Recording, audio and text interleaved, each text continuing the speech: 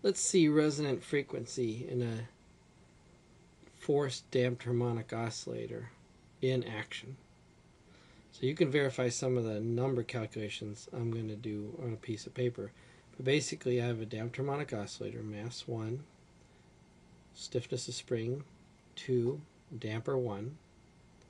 So what's the natural frequency of the system? If there was no damping, it'd be the square root of k over m, square root of 2.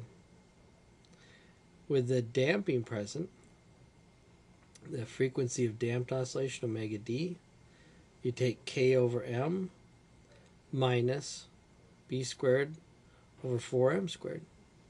And you take the square root of that. Now k over m is 2, and b squared over 4m squared is going to be 1 over 4. So I'm going to have a damped frequency in this problem of square root of 7 over 4. That's about 1.3. But if in addition I drive this system with a frequency of omega, and depending on the omega, I get different responses in the amplitude of the oscillation. And the famous response I'm looking for is the resonant frequency. What's the frequency of driving that gives me the most response in amplitude of the system? Well, the formula for that is square root of omega naught squared minus b squared over 2m. The b has to be not too strong.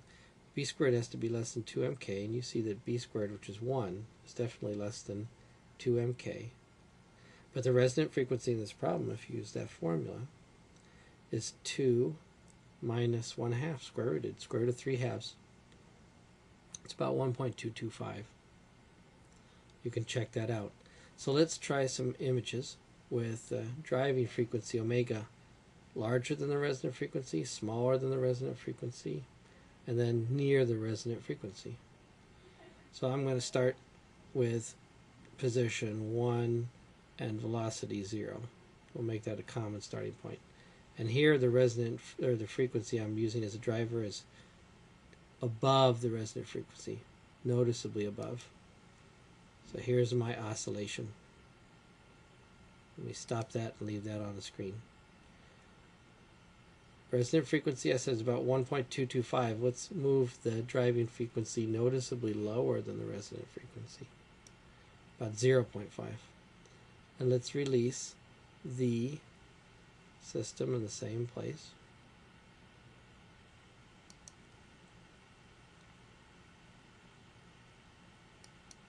See the amplitude of oscillation there. And now let's get close to the resonant frequency, about 1.225, 1.22, 1.3. Let's see what we can generate here. Same starting place.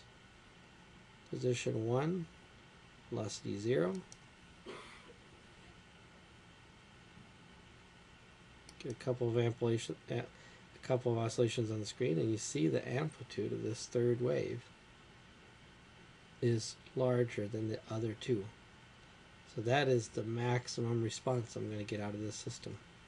And that happens when my driving frequency is at the resonant frequency.